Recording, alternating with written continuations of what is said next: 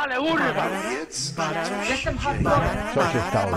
Ru- Rurkowce. Witam w kolejnym odcinku Przypadków Internetu. Tym razem przyjrzymy się zupełnie nowej definicji pewnego rzeczownika lub też zupełnie nowemu rzeczownikowi w rzeczy samej. I cały dzisiejszy odcinek będzie właśnie tak bardzo pokręcony jak wcześniejsze zdanie.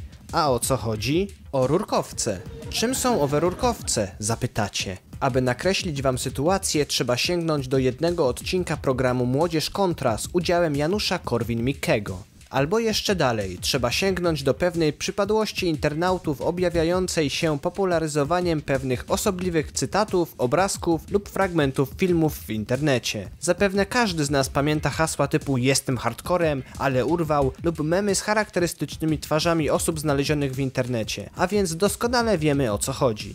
A jeśli nie, to przedstawię wam psa Żodyna, który swą sławę zyskał tylko przez fakt, że w języku naszych sąsiadów słowo żaden brzmi jak po wiejsku żodyn. I tak z pewnego obrazka narodziła się graficzna riposta, iż żodyn czegoś nie wie albo żodyn tego nie umi. A na ekranie widzicie teraz koszulkę i tort z pieskiem. Dobra, do rzeczy. Podczas odpowiedzi na pytania w programie Młodzież Kontra, pan Janusz natknął się na pewnego nieprzyjemnego lewaka, który chciał tylko żreć i żyć. Dla lepszego zrozumienia sprawy muszę przytoczyć ten fragment. Celem życia nie jest przeżycie. A co? Ludzie... To, to, to ja, przepraszam, nie będę zastępował pańskich nauczycieli. Ludzie mają swoje cele, mają swoje ambicje, mają swoje ideały i za, za to walczą i umierają. A pan chce tylko żyć. No i pan sobie żre i, i żyje dalej. Chcesz... Jak powiedział, jak powiedział wybitny krakowianin, na dnie oceanu, w, rowie mariańskim są ru, ru, rurkowce.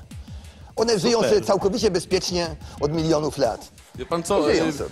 Internautom bardzo szybko spodobały się owe tajemnicze stworzenia i myślę, że charakterystyczny sposób, w jaki pierwszy raz została utworzona ich nazwa, również do zainteresowania wokół nich się przysłużył. Są rurkowce. W internecie można było później znaleźć bardzo wiele przeróbek dotyczących tego właśnie wystąpienia.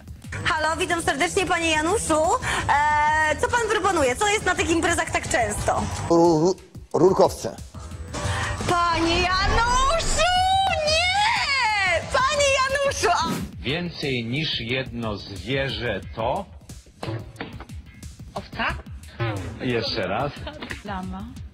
No nie, no to teraz więcej niż jedno zwierzę to... Ru, ru, rurkowce. Tak. A pikanterii dodawał jeszcze sam fakt, że nie ma czegoś takiego jak rurkowce. Internet milczał na ten temat, a w wynikach wyszukiwania dało odnaleźć się tylko wpisy o rurkowcach natury wyłącznie humorystycznej. Jednak to nie przeszkodziło internautom w popularyzowaniu nieistniejących rurkowców i ich znaczenia. Powstało dużo przeróbek graficznych i filmowych w nawiązaniu do rurkowców i okoliczności w jakich powstały, czyli cytatu o chęci życia i żarcia. Nonsensopedia wzbogaciła się o nowy wpis, a także na Facebooku zaczęły powstawać strony o rurkowcach, jak na przykład Polska Partia Rurkowców. A hitem niech będzie wykupienie przez kogoś samej domeny www.rurkowce.pl, która linkowała do newsów na temat samej partii Janusza Korwin-Mikkego. Rurkowce. A, nie- a nie było Islandii przypadkiem? Rurkowce. Nie, nie było Islandii. Było Islandii, popatrz tam. Rurkowce. Nastał więc czas, by ochrzcić nowe określenie i rozwiać wszelkie wątpliwości na temat jego znaczenia. Wprowadzamy bowiem do użycia słowo rurkowiec, a oto jego definicja. Rurkowiec. Osobnik, którego głównym celem egzystencji jest przetrwanie, za wszelką cenę i w jak najlepszych warunkach. Mówiąc prościej, rurkowiec to osoba, która chce tylko żreć i żyć. Myślę, że wystarczy. Skoro Richard Dawkins wprowadził świetnie przyjęte pojęcie memu, to i świetny polityk z naszą pomocą również może. Jednak nieustępliwie drążąc frapujący temat rurkowców, w moje ręce z biegiem czasu wpadło takie znalezisko. Rurecznik mułowy. Czyżby więc słowo rurkowiec było tylko malutką pomyłką od rurecznika? Nie byłem do końca usatysfakcjonowany odnalezionymi skojarzeniami i aby przygotować naprawdę ciekawe przypadki internetu, postanowiłem udać się do źródła i zapytać o rurkowce samego Janusza Korwin-Mikke. Oto mój telefon na antenie audycji radiowej. Swoją drogą zauważcie, jak na antenie radia brzmiał mój głos, bo ja bym siebie nigdy nie rozpoznał. Już ktoś dzwoni. E, halo? Kłaniam się. Y, Pan Janusz? Tak. Ja mam tylko jedno pytanie. W nawiązaniu do programu Młodzież Kontra, w którym zmasakrował pan młodego lewaka, proszę przypomnieć słuchaczom, czym są rurkowce. Dziękuję. Proszę, pan, proszę Państwa, rurkowce, które w tej chwili podobno nazywają się rurkochłonowce albo coś takiego, bo to nauka raz na y, jedno pokolenie zmienia tę nazwę. Rurkochłonowce to są takie y, rośliny, które żyją sobie te 11 kilometrów tam pod powierzchnią oceanu w Rowie Mariańskim między innymi. Jest taki cytat, że, że są to najbardziej spokojne stworzenia świata. One się nie zmieniły od milionów lat, prawda, i tam sobie świetnie żyją, no a my jednak ludzie, przez to, że giniemy, przez to, że walczymy, prawda, my się rozwijamy. Po tym telefonie dostaliśmy kolejne rewelacje na temat rurkowców.